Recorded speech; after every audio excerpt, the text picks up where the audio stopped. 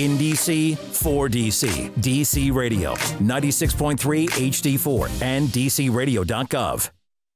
Hello, friends, and welcome to Cannabis Conversations, where each week I bring you all the news and all that's happening in the world of cannabis with a huge variety of intriguing guests ranging from local and small business owners to national and international industry magnates in this growing industry. We delve into the hows, the whys, and the how to's of cannabis. I hope this platform is educational and enlightening to you, satisfying your curiosity and expanding your knowledge of cannabis. Cannabis Conversations is made possible by Mayor Muriel Bowser the Director of Office of Cable Television, Film, Music, and Entertainment, Angie Gates, and the Director of Radio, Max Myrick, and his awesome staff, especially Shane Lewis. You can listen to the show Monday through Friday on 96.3 HD4, DCRadio.gov, and SoundCloud at 2.30 p.m. Eastern Standard Time. I'm your host, Linda Mercado Greene, and this is Cannabis Conversations. Well, this is history because this is the first time I've done something like this. Uh, my uh, guest uh, just finished a segment with me, and because he is so phenomenal, phenomenal, and because he is so inspirational, and because he has so much knowledge and guidance to impart to us, I asked him to stay mm-hmm. so we could do a segment two. And um, uh, for those of you who didn't hear segment one, um, he is an entrepreneur, author, and motivational speaker. He's a chairman of the board. Uh, the founder board member of Mind in Our Business program, teaching sixth and seventh graders in New Jersey entrepreneurial skills, which I absolutely love. Uh, president and CEO of the Phax Group, which are general con- uh, contractors uh, real estate developers and property managers. He is the author from the block to the boardroom, which all of you must get. He's the Entrepreneur of the Year, Princeton Regional Chamber of Commerce. Uh, he's Empower Magazine's Person of the Year, the White House Champion of Change honoree in the Obama administration yes, in please. 2014. uh, he's a co star in the documentary Incarcerating the U.S., Incarcerating U.S., mm-hmm. or Incarcerating Us. Incarcerating Us. Incarcerating Us, mm-hmm. okay. Uh, Board of Trustees of the African American Chamber of Commerce in New Jersey. And he's a member of the Diversity, Equity, and Inclusion Task Force of the Cannabis Trade Federation, for which I chair. Welcome again Tracey Syphax. thanks, you. Thank you, Linda, for having me back again. And I tell you, you keep making those compliments and those accolades. We're going to be doing a part three here. Uh, well, we could do a part three because I want to get to all of it. We're going to do a part three, too. And, you know, before I forget, Tracey mm-hmm. has his own podcast. Want to tell us about that real quick? Yes. Um, Street Startups is the name of the podcast. Um, we've been doing it now in about six months old, so we're a baby in this industry. Um, but I like to talk about street startup as the uh, where the underground economy meets mainstream economy. Mm-hmm. I really believe, as someone who grew up in an urban area, that so many people in our neighborhood are, are doing so many things with their talent, making extra money, and we just try to find a way to monetize that and turn that into a business. I really believe that if we're going to create um, long-lasting wealth in our communities, we have mm-hmm. to bring that underground economy to the mainstream economy. So That's we so do true. that with kids. Yes. We do that with people that are returning from prison. Uh-huh. We do that with veterans. We do that with homeschoolers. My partner, CJ Meenan, is a um, graduate of Bassett University, one of the top business schools in the country. He's taught at Wharton. I mean, I mean, he's taught at Wharton. He's taught at Harvard. Wow. He's taught at all the big business schools in the country for 30 years. So he's my partner. Um, he'll tell you he'll put up our course against any college in this country. We have one of the best courses out there and he's a, he's a former special ed teacher. Oh, really? So he knows all the and learning where's he styles. From? He's actually from um, the Bronx in New York. Okay. Um, uh, I think he grew up in Boston. He's in New Jersey now. He lives in New Jersey now. But CJ is an amazing individual, and and um, you know, God, I just really believe God put people in your lives for a reason. He does. And um, I like believe, I believe he put you in my life for a reason. Absolutely. So he, you know, him meeting CJ four years ago, um, just coming out of the White House, right when I was ready mm-hmm. um, to begin my entrepreneurship program, he was the perfect partner to run into, and we've been working ever since. So it's been a great move, and I really believe that Street Startups, the podcast, It's just a How do, spin how off do of we hear it? Is it on? What is it on? It's on Apple Tunes right now. Oh, good. Mm-hmm. It's, yeah, it's on Apple Tunes, and you can go to um, streetstartups um, and you can listen to it live on there. Oh, that's wonderful. So you all listen to it because I know you're going to learn a lot, and he has a lot of inspiring people. So you know, it's, so we we we covered um, your background, um, how you got to this point in the first podcast um, that we just had, and you think you can do that in three minutes? I could do it in three. I could do it in three seconds. From No, the- not three seconds. From the block to the boardroom. I know you can. So, Listen, just to bring everybody up to speed here. I like to say everything is in the name. So from, Yes. the, from the block to the boardroom, pretty much chronicles everything that it's about. It's basically my life story of how I grew up, how I came from an urban area, mother on drugs, spent time in prison, came home from prison, and just started my first business and worked my way up um, to a million dollar corporation, and just been a successful businessman now for 25 years. So from the block to the boardroom is my story. It's my it's my autobiography. It's it's how I live. But I think um, I think the, when I talk about that book, and it's been out now for close to nine years, um, I really believe that God put it in my heart, and He has taken me through all the stuff that I went through just to put me where I am today, which is teaching entrepreneurship and people, teaching people how to start and run successful businesses. So it's time for a second edition of that book. Yes, And I think, actually, I we're think looking at very doing that. ti- really, it's very because 2001, the time yes. is right Yes, now. Yes, 2021. Particularly we're when we're at. dealing with all that we're dealing with in the cannabis industry, Mm-hmm. and, and all, the time is right for that now. Yes, yes, yes. We're living in a time right now, and I talk about this all the time. Linda. When I came home from prison in 1993, I started getting involved in advocacy work right around the same time I became a business owner. I really mm-hmm. believe that they go hand in hand. If you're an mm-hmm. entrepreneur in the urban community, you should mm-hmm. be part of that community. Yes, indeed. As an advocate, of someone Yes, that's, indeed. that's helping those who I live in, in the community that you serve. So, when I became an entrepreneur, I, I you know I talk about this. It's been 25 years now. So it's been 25 years. I've seen this criminal justice system change over the years. When I came home For the jail, better or for the worse? um, for the better. I can't, good. Mm-hmm. you know, I can't deny. There's no way that I can deny. When I came home from jail, I came out of the get tough on crime area. I came out of the Clinton areas of the 80s Mm-hmm. where folks was going three strikes you out and mm-hmm. mandatory minimums Right. and all that. So it was mm-hmm. no such thing of helping people reintegrate to back into society. There mm-hmm. was no returning citizens. There was none of that language that we have now. So we have come a long way. You know, we have come a long way. I remember working with my congresswoman in the early 2000s when she was counting the cost of incarceration, where we're spending $50,000 a year in New Jersey to house an inmate. We're spending $250,000 a year to house a juvenile in the state of New Jersey. So once we start counting the incarceration of what we're paying, a quarter of a million dollars a year to house a juvenile, a nonviolent juvenile. You know what I mean? When we start looking at the cost of this stuff, it's just crazy. So, you know, I've been involved in this work. So, the juvenile justice system in New Jersey is changing. Incarceration is down in New Jersey. So, you know, we're That's all working, good. Yes, we're working on things Yeah. to. I'm sure it's a um, long way to go. it's I a mean, long you know, way to go. but we we still got so we still much got a further from where. Absolutely, absolutely. I cannot deny that. So, but the work is um it's been rewarding.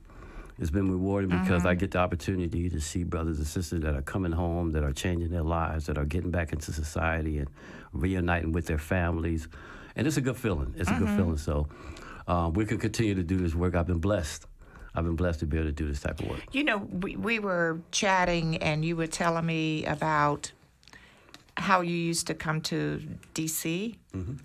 for how many years to teach? Yes. How- this is DC Radio, so tell us all Yes. about that. so, so, yeah, so DC on DC radio. So I love. I come. Let me just first start with coming to DC um, two years two, two years ago. I mean three years ago to teach the first Aspire to Entrepreneurship program created by Mayor Bowser and um, Project Empowerment in partnership with some other folks here. We taught the entrepreneurship program, but just first coming to DC, where do I stay at? Where? Oh, it's a good question. I'm glad you asked. So the Marriott, there's a Marriott Courtyard in downtown D.C. Yes, they had an is. article that came out in the paper. There's a manager there named Mr. Penny. Oh, And, Thomas yeah, Penny. yeah, That's I my know, I know buddy. you know. I know you know. I know you know. I know Yeah, you know Thomas is everybody. like a son to me. I know you know everybody. So here in New Jersey, small New Jersey, Trenton, New Jersey, I read an article about Thomas and Uh-huh. Marriott and what he was doing, and a couple good articles on some of the guys whose lives he helped change. So first, let me just first say, when I decided to come to stay in, D.C. for those um, for that 12-week program, I stayed at the Marriott. Uh huh. I made sure I stayed at the Marriott, and every person at the Marriott that worked there got a copy of my book.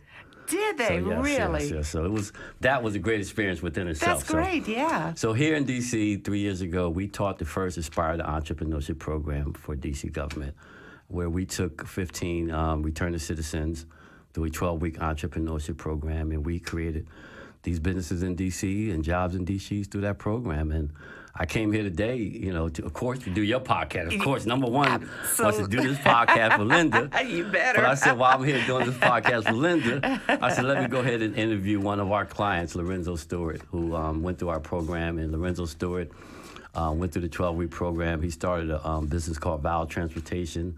And he's been in business for three years now, and he just landed a $1.4 million contract.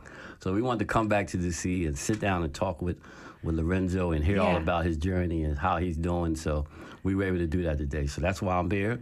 Back He in has DC. an amazing, amazing story He that has an you amazing. were if it, if you're in sharing DC, with me. My yes, God, if you're yes. in DC, please look up Lorenzo Perseverance, Stewart. determination. Determination, heart, vision, everything that you want in a successful entrepreneur. I see every time I have a conversation with Lorenzo. Well, do you stay in touch with, uh, uh, with the other some of the yes, yes. other so what students? we, yes, So that's a good question. Lynn. Yeah, I really believe that, especially folks that are coming home from prison, because right now here in DC also. that was supposed you're still mentoring. Oh yes, teaching. yes, yeah. yes. Here in DC, also we um, did the first pilot program at, um, at uh, Bureau of Prison in DC. So right now in the Bureau Prison of DC, we have 1,000 inmates. When was that? When did that Oh, it's start? going on right now. When did it start? Last year. Oh, really? Yeah, so last what year- do you, what is it doing? What does All it right, so our program, yes, our program, our course is on tablets. Our course you can do on a smartphone. Our course is in audio, video, text, any way that you can learn. You can sit on the on the transit bus going to work and do our course. Our course is uploaded to the tablets at DC Prison right now. So we had a thousand inmates this year learn how to start and run the business off our course that are on the DC tablets. Really? So we're not only teaching the program outside the jails. Yeah. We're going inside, Inside the the jails. teach the program all the time. One of the things I mentioned to my partner when we started that portion of the program was that I knew a place where we can have their undivided attention. Mm-hmm. And that was back in prison. And that's when we started the pilot program. So you proudly get this year we've feedback done it. from the uh, inmates Oh on yes, how oh yes, yes. We're starting it's to collect affecting data. them Yes, and yes. all of that. We're starting to collect Mm-hmm. the data on that now, and, and um, we have a few inmates that actually got out. And Mm-hmm. um, one actually, he was in the construction business before he got locked up, and then he messed up, got locked up. So when he came back home, he came back home inspired and more determined to do it right this time. So he came home and got right back in the business. He shot us a shot us a note saying that um, he just got his first customer. Um, so what we've been able to create with Reentry Ventures is that we have an online community. So anybody that goes through our course, whether you're in prison or out of prison, you become a member of our online community. It's like a Facebook I for entrepreneurs. It. Yes. So in our online, in the Reentry Ventures online community, you have everybody. We did 50 um, returning citizens in Virginia um, through a program. We did the 15 here in D.C. We just did 25 in New Jersey. So all the folks that go through our course become part of our online community. So mm-hmm. now you're part of this community. You're reading articles. You're talking about business. I can talk with somebody in Virginia who went through our program. If they got a question, they can go on there. It's just like shooting me an email. Tracey, I'm going to get my LLC. What do you think is best for me? And I Love can it. answer them. I might be on your show right now, but when I get finished with your show, I can respond back to them. Yeah. So, yes, we stay in touch with all our students. That's excellent. I, I just don't know how you do all you do, but you know, they always say God never puts more on us than No, what we can no, handle. absolutely. But you know, when we're helping our own brothers and sisters, regardless of their race, religion, or whatever, I mean, we're all people and we are all brothers Mm-hmm. And sisters. Um, from you know, using our experience and our life stories and everything. That's what it's about. Mm-hmm. Oh, no, That's absolutely. What it's about. I believe I have big shoulders for my people. Yeah, you I do. Believe. I believe that. You do. Absolutely. You do. So, how do you see the cannabis decriminalization relating to your work in social justice and criminal justice reform? Well, you know, you know, I think just like you know, decriminalizing um, the cannabis is, is the same as the war on drugs. Period. You know, I, I'm I'm a firm believer. I know everybody don't share the sentiment, but I'm a firm believer that all drugs should be legalized, and um, we should have programs social programs set up to help and health programs to set up. I think we should be treating drugs as a public safety health issue Yeah. versus criminalizing people I over totally it. agree. So if you have over Totally 60, agree. 70 percent of people that are in jail, they're in jail for some type of violent crime because of drugs or anything like that, um, we have to treat that. It's Mm-hmm. the same thing with, with, with, with the criminally insane. You know, Mm-hmm. the number, the three largest criminal insane institutions in, in America is our prisons. So we have criminalized the mentally insane now. You know, I never thought about it in that light or that perspective of it. Absolutely. We, so we, we're, we're living in a country that has just criminalized anything that they can criminalize. They criminalize immigration now. You know what I mean? So anything Yeah. that they can criminalize, we've known to criminalize here in New Jersey. So the war on drugs has been a complete failure. We know it's been a failure. from- complete failure. it was targeted directly at our community. So even when I'm teaching and I'm talking about people that are formally impacted, I don't like to just talk about the individual because the individual is important, but I like to talk about whole communities. Mm-hmm. Because see, the war on drugs wasn't targeted at one individual. It was targeted at a whole community, and the whole Mm-hmm. I think that's suffered. something that people really don't Absolutely, look, absolutely. look at. Uh, we look at individuals. We look at the would- one person and say, "You're a bad person. Exactly. Mm-hmm. You did this and you did that." But we don't look at the effects that this war on drugs have had on families. Entire communities has Mm-hmm. been devastated because of what went on in the 70s and 80s. So we got to begin to repair that. We got to begin to repair that. And um, I like to think that my part, as someone who came out of that and someone who was has done very well in his life, is to play a crucial role to make sure that our brothers and sisters that are coming home from prison, that are locked up behind bars, not only get out and have a fair um, a fair chance at properly reintegrating with dignity and respect into our community, but have another shot at life. You know I mean? Yeah. We all need second chances. Some of them need third chances. It's something third and fourth. I mean, you know, you know, Marion Barry used to say, Yeah. "If you can look up, you can get up." Absolutely. And, you know, that was one of his favorite Mm-hmm. sayings, and um, so I, you know, I I think about that every day. Mm-hmm. and no matter how bad I'm feeling or whatever, if I look, if I open my eyes Mm-hmm. me, I would always say, you know, yeah. You can get up. Yeah. Absolutely, absolutely. um, how does someone who has been incarcerated for any amount of um, marijuana possession, drug possession, the, those are some of the best entrepreneurs in the in the world. Oh, yes, yes. I really, yeah, and, and that's the whole reason. You know, like I said, Linda, you know, that was the whole reason of me creating Reentry Ventures. That's the whole reason of me doing this entrepreneurship courses, because of that same reason. I Right. know those same skills that I use on the street. I knew product. I knew customers. I knew security. I knew marketing. I knew I knew everything I needed to know about running Every a successful business. Every single detail of running So all a those tra- successful business. all those transferable skills, we want to make sure we transfer those into the market into something positive. but they cannot enter our industry. They Mm-hmm. That's- can't. They, they can't enter the cannabis industry, Mm-hmm. And that is one of the things that really tears my heart apart. Mm-hmm. And I can't even hire anyone that um, has been incarcerated for any type of drug possession, which I didn't know, and I did. And uh, he had all the training was when I first started last year, and just somebody who was magnetic, energetic, knew the product, knew the uh, all the properties of the product, knew what uh, to recommend for what symptoms of this and that and other. Someone who um, uh, had been out. Uh, he served his 20 some 20-some years, years, and he had been out for 30. And ever since he's been out, he's been doing working with uh, um, d- similar to what you're doing you know working in in with uh, nonprofits keeping kids straight uh, counseling um, adults and just you know just doing everything he can to uh, to keep people out of prison.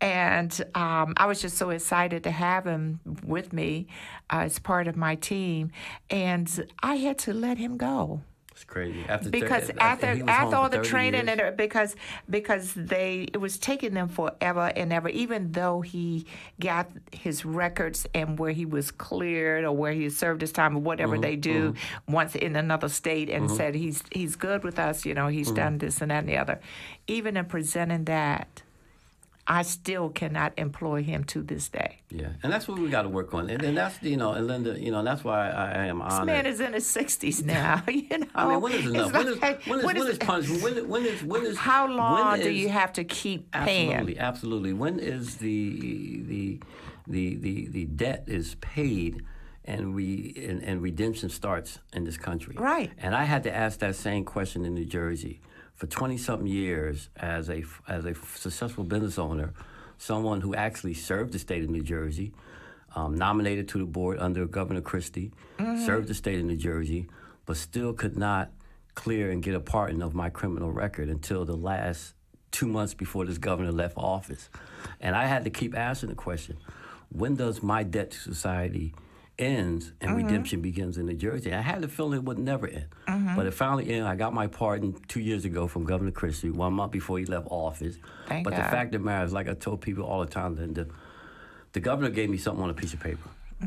God pardoned me when I came home from jail in Mm-hmm. Oh 1993. my, we getting into church now. yes, we can listen, listen. Don't get me Uh, testifying over I'm here now. Listen, you. let me tell you something. I'm telling you. A pardon is a pardon, but It I've been pardoned by someone who grants all pardons. Yes. So that was nothing but something that happened Yes. on a piece of paper. But the Yes. fact of the matter is that just like that man was home for 30 years, there's no Mm-hmm. reason.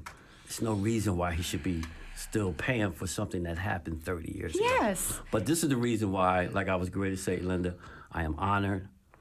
I, I, I am much appreciative to be the only, uh, I believe, the only formerly impacted person on the Cannabis Trade Task Force, but to be under your leadership, because I know these type of issues are near and dear to you. They're uh, very near and dear absolutely. to And me. they're near and dear to the chairwoman. they're near and dear to me.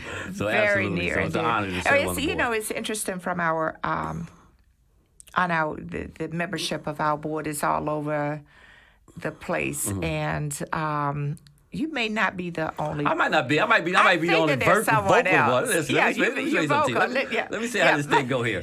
There are 70 million people in America Yes. touched by the criminal justice Yeah, system. go. That are just the ones that just got caught. Yep. So I wouldn't be surprised. Yeah. If I'm on a membership task force for 24 individuals, I might be the sixth or seventh person. Mm-hmm. But I might not be the only vocal one. Yeah, yeah, no, but I'm, I'm happy that you are there because you bring such a different perspective because when it's personal, Mm. It's different Uh, than uh, us reading statistics and saying this and that and the other. Absolutely. well, you not being able to hire that ge- that gentleman is personal to you. I can tell. I can tell how you sit there and personal. explain it's it to me. very passionate to me. It's very, it's, absolutely, it still kicks my heart every time I, I know it does. I see him. I mean, because it's ridiculous. Mhm, It's absolutely. re- so Tracey. Um, how can so how can we change this dynamic that we've had good people, smart people, our brothers and sisters incarcerated for, and how can we get them into being the business owners of of dispensaries and cultivations and every? How can we get them back in this? Industry, just keep advocating with the governments, Yeah, or I think, yeah, I think how, well, that, that's do? gonna that's gonna be until until we buried Unless we long end. Once gonna- once we end prohibition, will that take care of that? I think that's I think that's that's going to help. That's going to help. But I think also um, um, we I, we and I think when you've had this conversation, and you can't just say, okay, you're in business. There you go. Go off and um, be in business. You know, we have to start teaching and talk about entrepreneurship. A lot of times, some folks at their kitchen table they're having a conversation about going in business. We're not having these conversations in our community at our kitchen that table. is We're true. telling a lot of our kids to um, go to school, go to college, get a job. Go to school, go to college, get a job. There's nothing wrong with doing that. That's right. But I'm just saying a lot of our kids are creative. They are innovative. College is not for everyone. It's not for everyone, You so we have to be it's just not for options. everyone. Absolutely. So we got and, options. And I think that you know some of the best degrees are those that you get from Street University. S- Street University. Your your BA, your uh, MBA, your PhD, your everything. You know, because it's nothing like. And I really detest. I, maybe it's because I'm an entrepreneur. Mm-hmm. When people try to tell me as an entrepreneur because they have a PhD in this and that and other how to run my business Mm. or how to treat this person or that person. Now, I mean, they bring a lot of skills and a lot of, but I know what's successful and how to do, you know, Mm-hmm. Mine. So it's, you know, it really is. So what's next for you, my love? Wow. What's next for me? Well, you know, Lynn, I'm 57 years old now, so You don't look it. uh, I, I, am, I am my, my career. Like I said, 25 years. I celebrated this year um, in business. Um, my career in the construction business is winding down. Um, my career in the real estate development business is probably picking up. Um, but I'm doing That's something. good. You ever looked outside of the U.S. No, really, just, just in New Jersey. New I, Jer- I, I or- tend to try to operate where I live at. Um, if I go outside of that, that means that puts me just on the road more. Yeah, that's that's So very yeah, true. I try to operate everything that I do is within um, Mercer County area, which is the second largest, wealthiest county in Mm-hmm. The is. country. It is. So it's it's, it's, it's definitely uh, opportunities there. But you know, I'm doing something now, and and the real estate development company. I got folks at the office that are great employee. They're, they're capable of running that business without me, and that's what I love about it. Yeah. I don't have to be there. That's true. That's I true. could be in Washington D.C. on the radio with you, but um, I'm doing something now that I am just so passionate about and that I love, What? and that's having the ability to to give opportunities to people like Lorenzo. To have Mm-hmm. someone that has never been in business for himself, but always thought that he was an entrepreneur, take those skills and go into the market, and this year sign a 1.4 million dollar contract. That's what I like That doing. I mean, that story just grabbed my heart. I'm sitting here beaming like I know him, which I may know him. But, I know you met but, him before, absolutely. But just beaming like he's a child of mine. Absolutely, You know, and that's it's- and that's the way I look at all. I have some students that just graduated from our program in New Jersey. We graduated 18 students, and um, a lot of them are, are starting out in business now. And and you know, having these conversations and walking, watching them on social media just Mm-hmm. grow, just blossom, and their business just take off. It's just one of the greatest feelings. Like I um, said, it's a in the world. movie. Your life story, your life. I, I, you belong in the National Museum of uh, African American History and Culture. Well, if too. go down, well, what do you, what do you here see? you go now. Now, What- and now you're going into another subject now. So if you go if you go to the basement of the African American Museum, Uh-huh. you'll see all my relatives down there. Uh huh. So the yes. Syphaxes, yes. So you you know- are there. The Sy- so you know are very the prominent here in the DC, We Virginia all know the Syphaxes. I think I just sent you a story uh, Yes. from the recently on Uh-huh. the Syphaxes again. Yeah, yeah, and I know them all. And um, so the the Syphaxes are well known, and it's a big family here. Yes, yes. So I'm I'm just just continuing in the footsteps of, of what they've paid for, um, what they paid away for. So um, just you know, continue to to work this program, continue to teach entrepreneurship inside prisons and out. You know, I think this is what God has laid on my heart. He hasn't, you know, have me be in business for 25 years, never been to college. You know, only uh, form of education I got is out of high school. But my education came to 17 years on the uh, streets. Do you know how many people have never been formally educated? Oh, and yes, once absolutely. again, except for the street university. There's so many of us like that. You know, I didn't Mm-hmm. finish school. All of mine came from the street university right, as well. Right, right. And it's one of the best educations. But I think um, we go through that, and I think God puts us through that um, for a purpose and to put us where we are today. So I'm just blessed. I'm blessed to be able to do the things I'm doing today. I agree. I totally agree. Mm-hmm. Now, do you have any speaking engagements or appearances coming up that um, uh, folk can meet you? Or Mm, well, I got a couple of them. I um, I know I'm going to be in Vegas. I just talked to the guy today, but that's not until um, I think March, April. I think Mm-hmm. April I'll be in Vegas speaking. Well, this show repeats.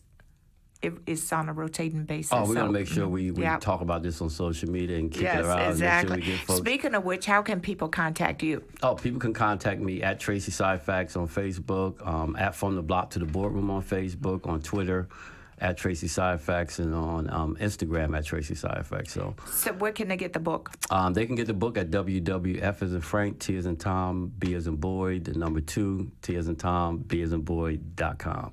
Um, Okay. that's our website. So you can I- get on Barnes and Nobles and yeah, all that stuff. But. I like to say Barnes and Nobles charge me like they wrote the book. so I ask people, I ask people all the time to please go to my website. Go to your Purchase website. it from the real writer. And your website is again. www.f as in Frank, T as in Tom, B as in Boy, the number two, T as in Tom, B as in Boy.com. Well, Tracey, thank you so much, and thank you for helping me start something new oh, here at Cannabis Conversations. And um, you know, I'm gonna have you back again. Oh, absolutely. You know, there's so much DC for you, and you absolutely. got it, baby. Absolutely. You got I it. Gotta come on here. And so, in, in uh, closing, I also want to thank our listening audience because they're really going to learn a lot today uh, from listening to both of these shows. That uh, you were my guest, and I want to thank my wonderful staff at Anacostia Organics and my producer Tamia Harper. In this new decade. Let's strive for greatness with gratitude and grace, just as Tracey has. Please visit me at Anacostia Organics, 2022 Martin Luther King Jr. Avenue, Southeast in the District of Columbia, the 51st state. We happily accept patients with medical marijuana cards from any state in the United States and Puerto Rico seven days a week. So follow us on Twitter, Instagram, and Facebook. Our website is www.anacostiaorganics.com. Thank you for listening today. Bye bye. In DC, for DC, DC Radio, 96.3 HD4, and DCRadio.gov.